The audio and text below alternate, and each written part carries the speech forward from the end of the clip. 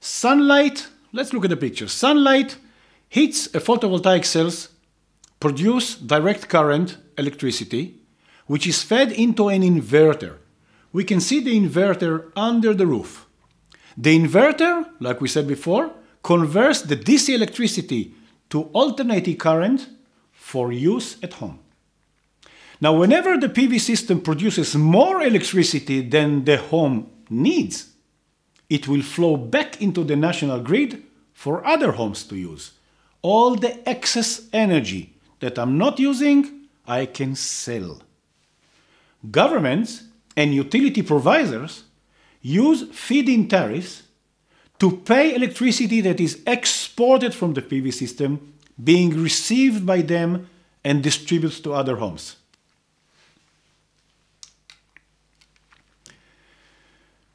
Very, very important subject is what happens if there is a power cut. It is important for a safety uh, precautions point of view because PV system continues to generate electricity because it continues to receive energy coming from the sun. And this is regardless if there is a power cut or no power cut. So if there is a power cut, we know that there is no electricity on the grid, on the lines, on the wires. But the system continues to generate electricity. So we have to divide, we have to split, we have to cut from a safety uh, aspects, we have to cut automatically at zero time the, the effect, the influence of the PV system on the grid. Now, domestic PV systems that are grid connected will automatically shut down. The way it's being done is that the inverter itself, this component that converts DC input coming from the cells to AC going out of the grid, they themselves need need grid power to start up and operate. So if there's a power cut, they will not work. This is a safety pressure designed to stop electricity leaking onto the national grid and to protect individuals who may be working to restore the power supply. So basically, there is an automatic cut when there is a power cut. Now, in this picture, we represent several configurations of strings and meters to put an emphasis on how complete system looks like in top level block diagram. Here on the left, we see panels, PV panels, which are basically connected in series, and they are actually making up a string. A string is a group of panels connected, connected between themselves generate electricity. This electricity will go to a DC isolator, safety precautions, we'll talk about it in a minute.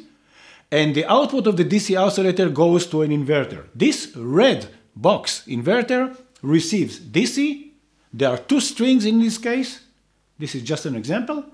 The inverter receives the DC coming from the panels, convert it into AC, and obviously there's an AC insulator immediately right after uh, the inverter. Now, if there is no power cut, the system goes automatically, the, the energy, the electrical energy, the AC voltage goes to a meter. This meter will display how much the PV system actually generates. Uh, after the, generate, the generation meter, there will be another uh, isolator, again for safety precautions.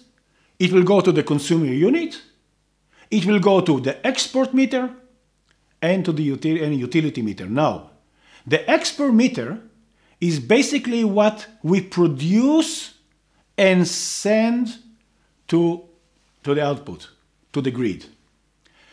B minus A equals C. Export meter minus the generation meter is exactly what is being exported to the grid for which I get, based on feed-in tariff, I get money back from the utility company.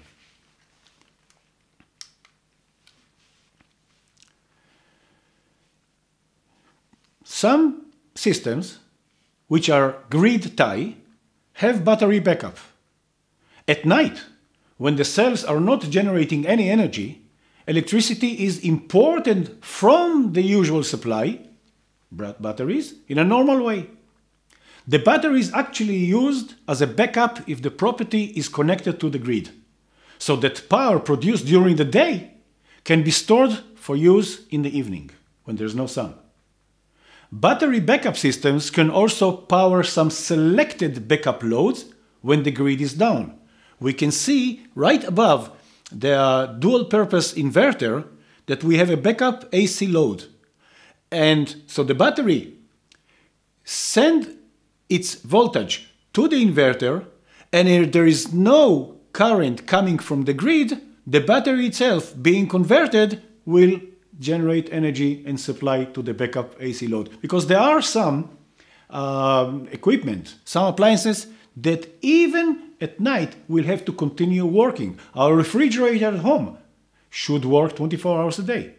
There are several machines in a production line in any industry that need to work three shifts. So they need to be generated, they need to be energized, I'm sorry, they need to be energized using backup batteries. Batteries to inverter, inverter to AC load. We talked before about the grid tie systems that had a battery as a backup. Now, actually, we're talking about standalone systems, PV systems, which do not connect to the grid. They are standalone. Let's look at this. Off-grid or standalone PV systems, they incorporate large amount of battery storage to provide power for certain number of days and also nights in a row when the sun is not available. The array of solar panels must be large enough to power all the energy needs at the site and recharge the batteries at the same time. As I supply energy to the appliances, the battery gets discharged. As they get discharged, continuously, non-stop, I have to charge them again. The reason? I want to prolong the amount of time, the length of time that the PV system will actually operate. So as we discharge the batteries to operate appliances, I have to charge them in order to be able to do it the next day and the next night. Now let's look at the left picture. PV array it goes to a combiner box because we have several modules. We have to combine them in order to increase the voltage, the current, and therefore the power. It will go to a circuit breaker, safety precaution we said before. It will go to charge controller. This charge controller has one simple mission to control the amount and the level of charging of the battery, meaning that when the battery will be, will be fully charged, this controller will stop the continuity of the charging, will stop charging the battery if the battery is always uh, already full. After the controller, after the charge controller, there's another circuit breaker. Notice that between each module, we have two circuit breakers. Safety, safety, safety. After the circuit breakers come the battery, the battery pack. Now depends on the number of days or number of hours, nights, and the uh, uh, power consumption consumptions of my appliances. This what will determine the size of the battery pack. It's basically storage. More batteries, will enable longer time for the PV system to work. Remember, there's no grid. It's a standalone system. The battery charge, the batteries, the battery bank goes to, again, circuit breaker, which will go to an inverter. Inverter receives DC in the input, provides AC the output, and this output again goes to a circuit breaker, safety, will go to the the customer console, electrical console that distributes these AC electrical energies into the various appliances in the home. We have no grid, we have DC coming from the panels, converted by the inverter and distributed to the different appliances. Now, this picture, we see something different. we see that we have, we see that we have a backup generator. This generator means that if the batteries discharge, completely discharge, and we still do not tie ourselves to the grid, the generator will come and will behave as a backup to the batteries. The, the generator is basically the AC generator. It's connected directly to the inverter, supply uh, energy to it, and again, battery is empty, generator comes as a backup.